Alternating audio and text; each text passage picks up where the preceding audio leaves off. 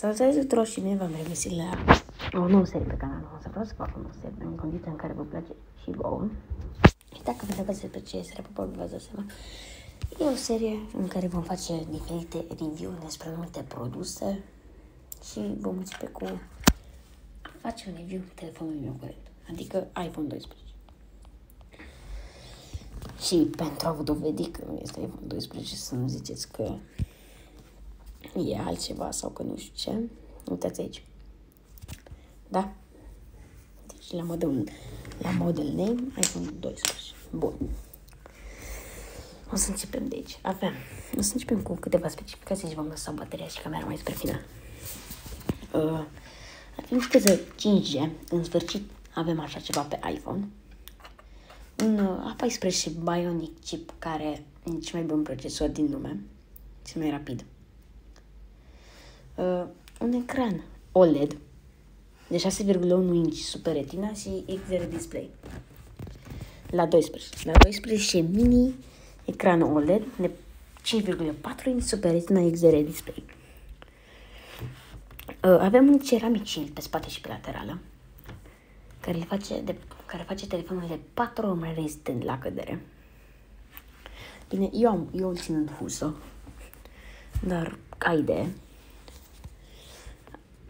avem night mode pe fiecare cameră, pe ambele două și pe wide și pe ultra wide. Ceea ce exista și pe 11 sau 11 Pro, însă cred că s-au dus, un site s-au adus mari update-uri. Și avem cu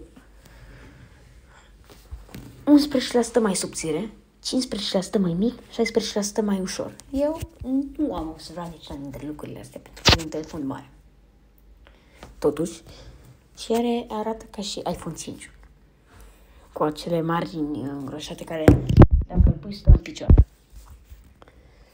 Nu am observat aceste lucruri și la 12 mini 5,4 display, care și el arată cam tot la fel. Acesta este vorba de 12 mini și cât că am terminat aici, rezistent la apă, bineînțeles, cât că am terminat aici. Acum, o să începem, o să începem a vă zice.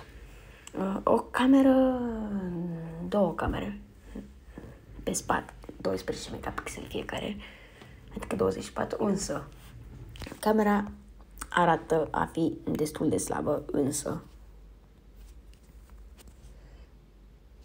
însă face niște poze foarte bune.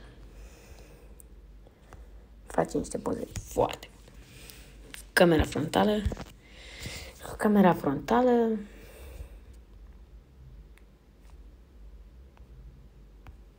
Cam așa arată. Bateria uh, este... Deci camera... Bateria este destul de mică. 200... 2815 uh, mAh pe oră, dar pe mine bateria nu ține undeva între 7 și 8 ore pe zi.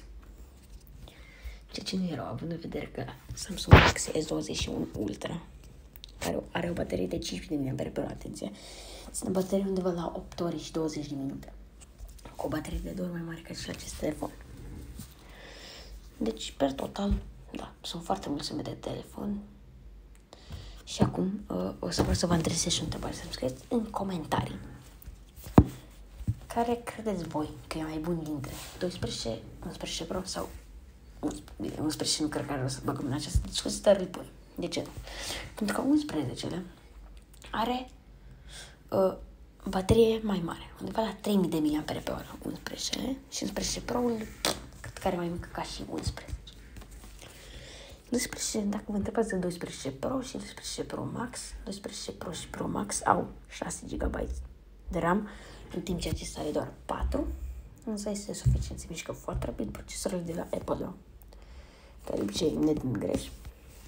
Se mișcă foarte rapid și foarte frecvent. Se mișcă foarte rapid și foarte foarte fluid. Cumva. Jocurile merg foarte bine. Le-am testat. Jocurile merg. Adică Asphalt 8 și Asphalt 9, care sunt jocuri de 32 GB, merg foarte bine pe acest procesor în cutie.